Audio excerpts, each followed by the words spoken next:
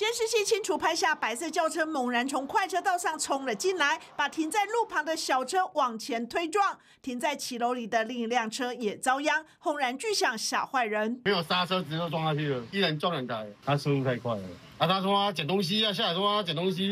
车祸发生在十九号下午一点多，地点就在台南市国民路，还好没有造成人员受伤。不过小车车主真的很倒霉，因为这是才刚买不到两个礼拜的新车，就在前一天，也就是十八号下午四点多，停放在府前路上也挨撞。通常都是违停、违停、违停车居多啊，通常都是一个礼拜就一件了。运气太好了，新车两个礼拜以后都是被撞两次，只停两天。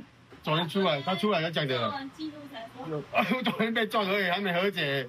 才买两个礼拜的新车，连着两天挨撞，头一天都还没和解，又出事了，连邻居都忍不住帮忙叫屈。一名驾驶因不慎撞击路边停车，现场无人受伤，现场实施酒测无饮酒，详细肇事原因尚待调查。